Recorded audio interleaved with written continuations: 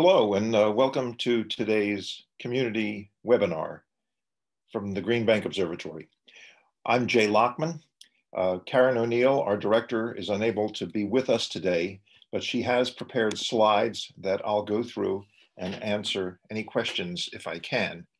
And please, if you have questions, use the Q&A box at the bottom of the, uh, of the screen. Can we have the next slide, please?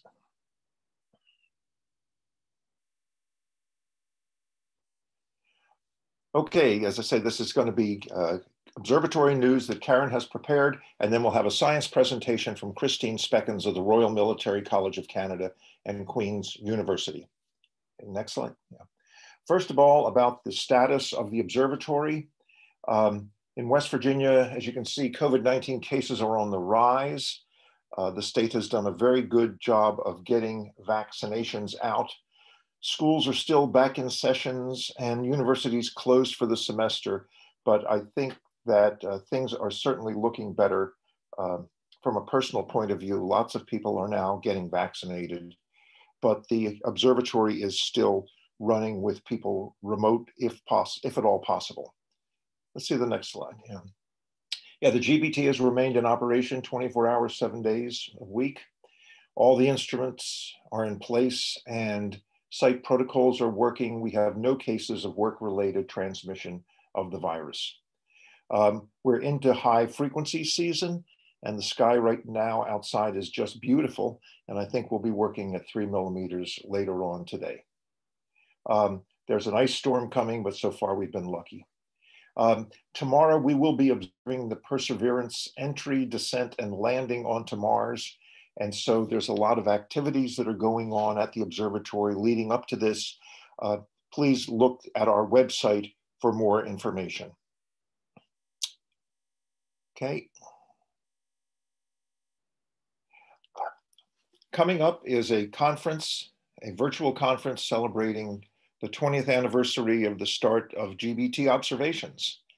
And so we are having a virtual workshop April 21st and 22nd. Uh, there's a draft agenda under development. We'll be discussing some of the history of the telescope, um, some of its accomplishments, and where we can look forward in the next 20 years, another 20 years of innovation and discovery. We're having an image contest, and we really are soliciting images from data taken with the GBT. You can see more information about this uh, at our website. Okay, Next slide, please.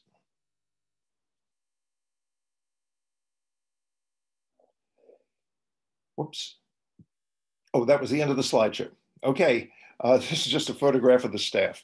Um, well, let's go on to our science presentation now, and that is by Kristine Spekkens, um, and she's going to be talking about ultra diffuse hydrogen in galaxies. And so take it away, Kristine. Okay, I'm gonna go ahead and share my screen here. Okay, can you see that? Yes. Yes, okay, great. Um, I'm gonna go ahead and keep my video off during the presentation and then I can turn it on at the end. Um, so uh, thanks a lot for um, this opportunity to speak to you. Um, so I want to talk about some of the work that my group has been doing to try to understand the physical properties of a class of galaxies called ultra diffuse galaxies using deep H1 follow-up observations with the GBT of optically selected candidates. And one of those candidates is shown on the right-hand side of this slide. And the idea here is to use the gas reservoirs as probes of their origins. Now, this is work that's been done in collaboration with uh, Dennis Zaritsky's group at the University of Arizona, but most importantly, it's work that makes up the PhD thesis of Ananthan Karunakaran, who's a student at Queen's who's graduating this year. So I have the pleasure of talking to you today, but what I'm presenting is just about all Ananthan's work. So with that in mind, uh, here's the outline for today's talk. I'll begin by giving you an introduction to red and blue UDGs, as well as possible formation scenarios. I'll describe why the GBT is such a great follow-up tool, and then I'll give you a preview of the Smudges H1 survey. I'll talk about our pilot survey results, the current status of the observations, and then future prospects. So the low surface brightness universe has long been of interest to astronomers. And it's just recently, however, that the combination of new instrumentation as well as new techniques to search existing data have unlocked uh, a, a, plethora of new observations and new objects to study. And here's an example of one of those objects. So this is Dragonfly 44 that was um, uh, detected by the Dragonfly telephoto array in its survey of the Coma cluster. And the just how extreme Dragonfly 44 is, is illustrated when you put it next to other galaxies in the local universe. And so that's what the slide on the, or the picture on the right represents. So all of these galaxies are at a common physical scale of a kiloparsec. And so you can see that this object is just as faint as the Fornax dwarf spheroidal galaxy, which is above the UDG in this picture. But it's just about as big as a galaxy like M31 or M33 when you measure in terms of half-light radii. So ultra diffuse galaxies are an extreme low surface brightness galaxy. They are not recently newly discovered in the last couple of years, um, but they're, they're, a large number of them have been discovered and characterized with the new instrumentation and numerical techniques. So UDGs are large, faint, low surface brightness objects that have sizes similar to the Milky Way, but only a fraction of the stars. And of course, we'd like to understand how they form and how that diversity in stellar surface density arises for objects that are about the same size in the universe today. There are a number of different theoretical hypotheses for how UDGs form and evolve, but generally is the nature class. In other words, that these galaxies formed in extreme dark matter halos. And in particular, if you form them in high spin diffuse dark matter halos, then in equilibrium, the, the baryons will settle into high spin diffuse stellar disks. So that's the nature scenario. And then there's a broad class of models that invoke nurture of some kind. So star formation feedback, high spin interactions, or tidal encounters. In other words, but something along their evolutionary path renders their baryonic distribution very diffuse. And I'll come back to some of the, the, the nurture models a little bit later. Now, all of these models make predictions not only for red objects in clusters of galaxies like DF44 in the Coma cluster that I showed you already, but observationally, there are a large number of blue diffuse objects in the field as well, and the models make predictions for their properties. So here's an observational tour of some of the blue diffuse objects that are um, that have been detected. So in the top left-hand corner are H1 contours of um, H1 selected um, diffuse objects from the alfalfa survey. And on the right-hand side is a collage of different objects that have been detected in the optical by the Subaru telescope. The red objects are shown on the right-hand side of that picture and the blue objects are shown on the left. And so one approach to understanding ultra diffuse galaxies is to use observations of the blue objects to inform not only their properties and evolution, but also their connection to the red objects. And that's what we're trying to do with the GBT. So as we're taking a step back and thinking about why the GBT is such a great instrument for doing this with. Um, so first, to, to, let's talk about the H1 piece first. Um, so H1 is, is a much more efficient follow-up tool for gas-rich objects to study than the stars in these, in these candidates. And the reason is that by construction, the stellar density is very low. These objects are low surface brightness, and they often have just about as much H1 or even more H1 than stars. And so it's much more efficient to target that H1 distribution distribution than it is to target the stellar distribution. And a key observable for follow-up is distances. A lot of the optically, or all of the optically selected UDG candidate catalogs are, are just that, they're candidates. And in a cluster, one can use cluster proximity as a measure of distance, but in the field that doesn't work very well. And so in order to study the physical properties of UDGs in the field, you have to know how far away they are. And H1 is a really nice way to find, to find that distance when the galaxies are gas rich. Now, among potential H1 follow-up tools, the GBT is particularly powerful. It's big and it's steerable, so that much is obvious. But it's also got, Vegas has a really nice wide band as well as a high spectral resolution. And a typical Vegas spectrum is shown here in the top right, and it extends through almost 20,000 kilometers per second. Now to zeroth order, the gas richness of these objects is independent of distance, which means we can search for galaxies at a wide range of distances along the line of sight, which makes the follow-up extremely efficient. Now, not only that, the GBT beam is really clean, and that's what's illustrated in the bottom right-hand corner. And that means we can do these observations at high dynamic range, and we can search for faint reservoirs next to um, massive H1-rich objects.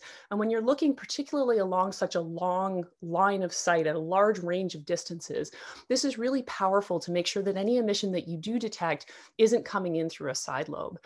And so the GBT is a fabulous instrument for following up UDG candidates in the field, as well as for doing other high dynamic range work in the local universe.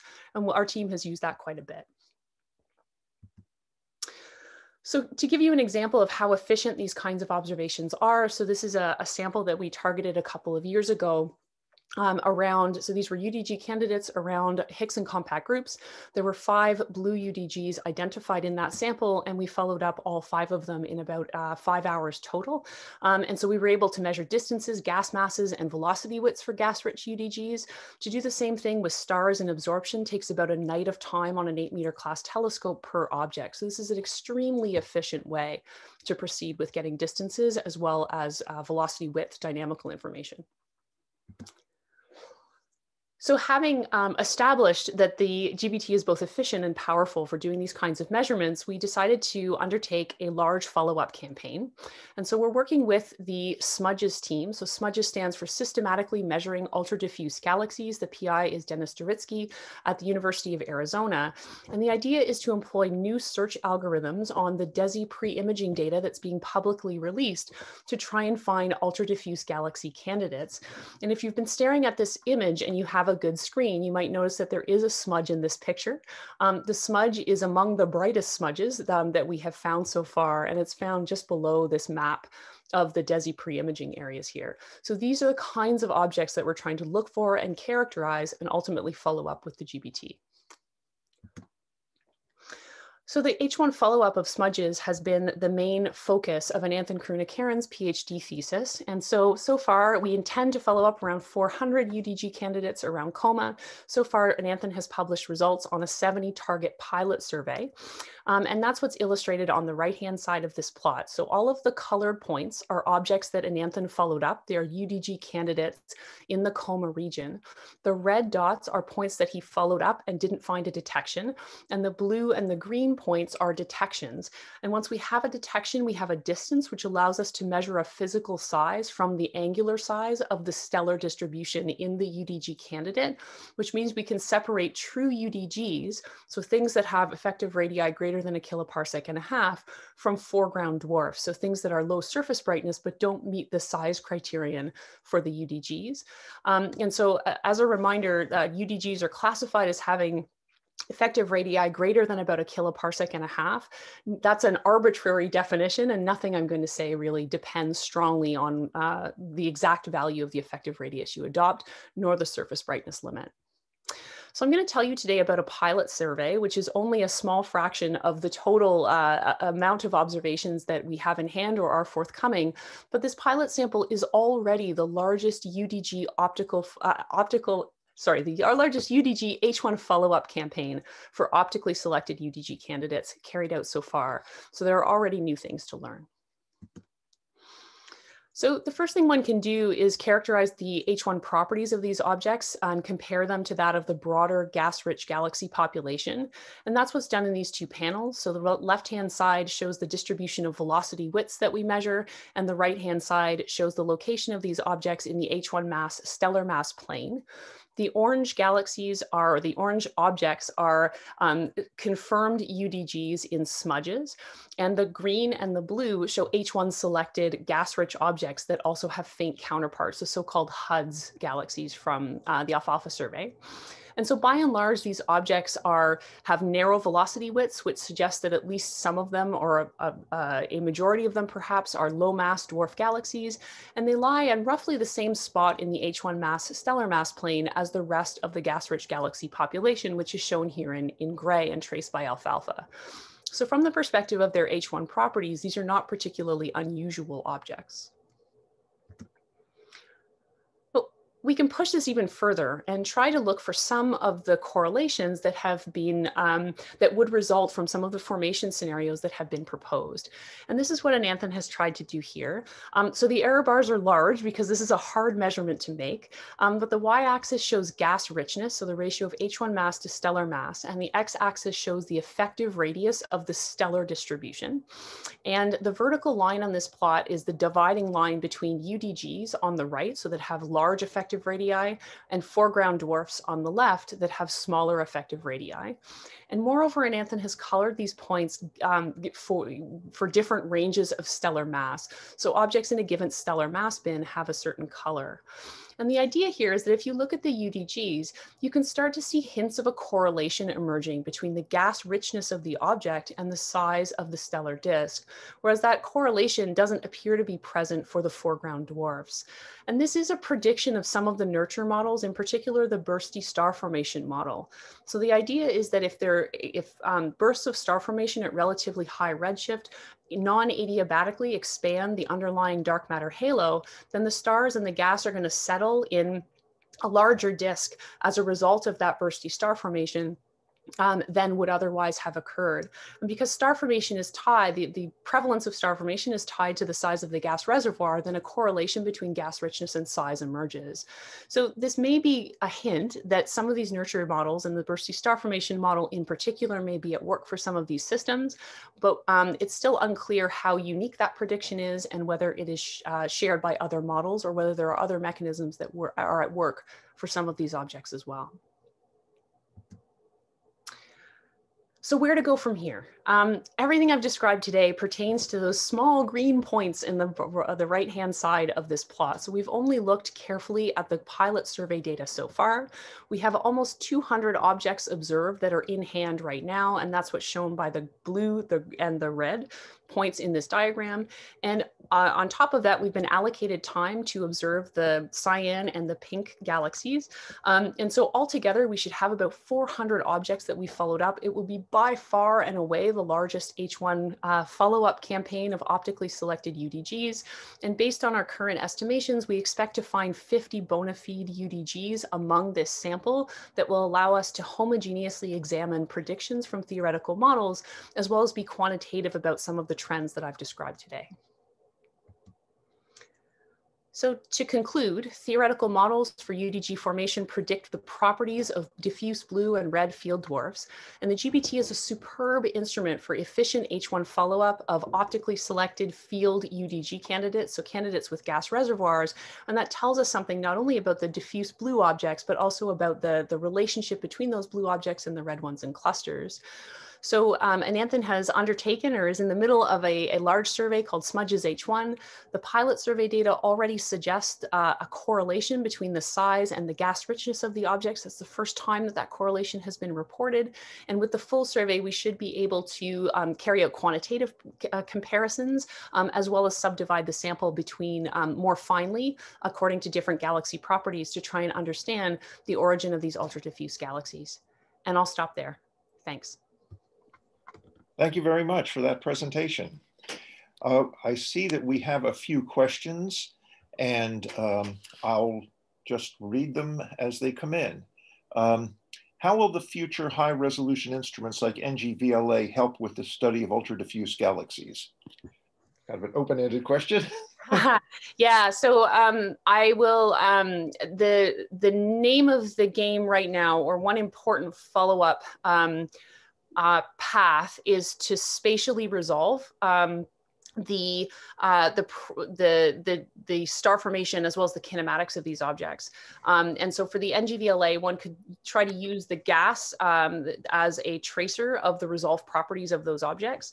Um, there is a lot of work being done right now in spatially resolving these objects in, in H1, um, which uh, not only NGVLA, but the SKA as well as the Pathfinders are starting to do now.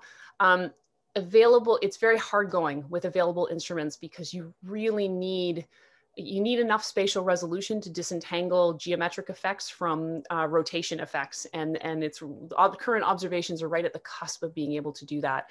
But spatially resolving the properties of these objects is uh, the next logical step. Um, we're going after statistics with the GBT, but some of the, the, the um, there are some objects in the sample that are, are well suited to high resolution follow-up. And so that's where we're going next. We actually have a program on Meerkat to do just that. Okay, uh, another question. Uh, could it be that the narrow line widths observed are a selection effect rather than truly reflecting low masses, as by selecting low surface brightness objects slash disks, these objects will preferably be face on and thus have narrow line widths? Yes, the selection effects are brutal um, and they are, you do preferentially select in fact, in all, whether you're selecting in H1 or whether you're selecting in the optical, you are preferentially selecting face-on objects. Um, there are other lines of evidence that suggest that at least the that the bulk of the UDG population are made up of dwarf type things. There are some objects that may well be large, um, that, that may be high mass objects. Um, and there may also be objects that started as high mass objects and then wound up as um, relatively low mass things in clusters as a result of um, uh, as a result of their their interactions with the cluster potential.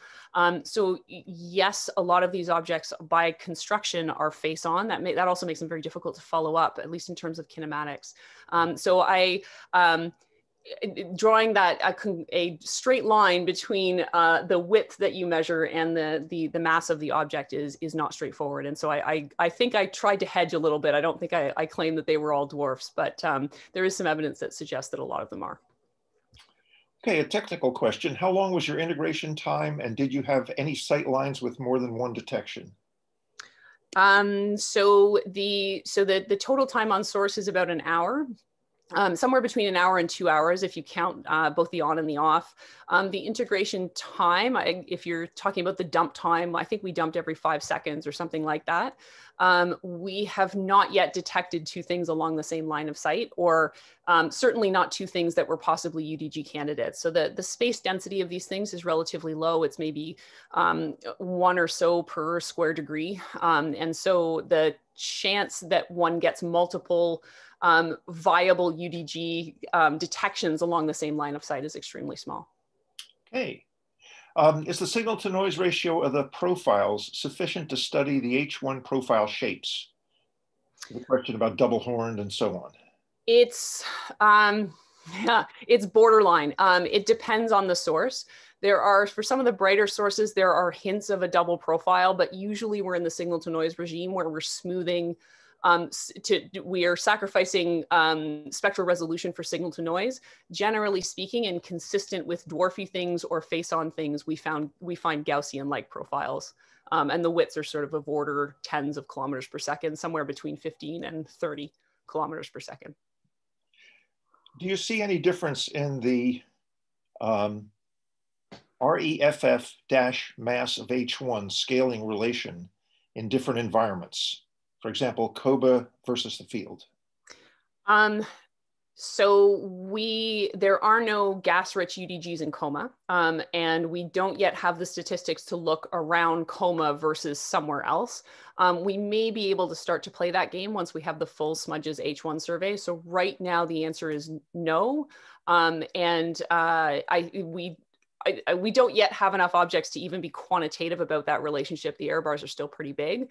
Um, that would be something that would be great to look for. Uh, we may well just get there with Smudges H1, but it's it's tough going.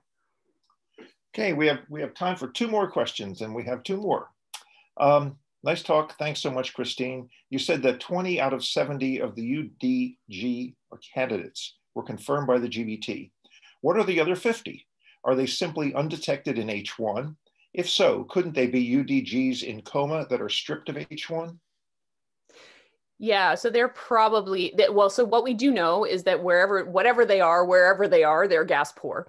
Um, it's they're far enough away from coma um, that they it, it's unclear um, where exactly they are. Um, I think a, a major outstanding question is how, what the frequency of gas poor UDGs in the field is. Um, and that's an extremely difficult question to answer. Um, so the other 50 are, are gas poor objects. They're somewhere along somewhere along the line of sight. They may well be associated with coma. Um, they're they're established as UDG candidates at the coma distance. Um, and so if they were at that distance, they would be gas poor UDGs. Um, and we've been trying to push our observing efficiency up by um, trying to understand which objects in the optical are likely to have H1 counterparts. And at these really low surface brightnesses, it's hard to use just color to do that. So we're finding that a combination of color and irregular morphology is a nice, com combined with uh, UV emission, if there is deep UV emission at that location, is a nice predictor of gas richness. So we're hoping our, we expect our efficiency to go up moving forward. Let me combine two more questions because one just came in and, and bring this uh, seminar to an end. Uh, what are the differences between red and blue UDGs beyond their color and location? And is there a prospect to construct a Tully-Fisher relationship for these objects? Um, so one could certainly begin to put these uh, the the um, but so yes, you could put these objects on a Tully-Fisher relation if you had a good sense of their distance. So for the blue objects, that's fairly straightforward. Um, you could put these objects on a baryonic Tully-Fisher relation um, if they've been detected in, in H1 as well. Um, as for the differences between the blue and the red UDGs, that's an outstanding question. Um, it could be that the red UDGs are blue UDGs that have been thrown into clusters. When they entered the cluster will um, affect the relationship between the blue diffuse objects that we see today and whatever the red objects were at the time that they fell into the cluster. Um, it's possible as well that those objects were um, uh, stripped of their gas extremely early. And so therefore the, the, the, relationship between the blue UDGs and the red UDGs is more tenuous. Um, either way, if one can constrain the properties of the blue UDGs, then um, that provides us quantitative measures against which the models uh, have to work or have to reproduce in order to, to understand the two. But all of the formation models I've, I've mentioned do predict the existence of blue things in the field. It's just the relationship between the blue things and the red things that varies depending on the model. Thanks very much. Um, and I'd just like to remind everybody that the recording of this uh, session will be on the GBO website in a couple of days. And stay tuned. Two weeks from now, we have Charles Romero talking about insights into intra-cluster gas in clusters of galaxies from the Mustang 2 three millimeter bolometer survey. So thanks very much again, and we look forward to seeing you again in two weeks.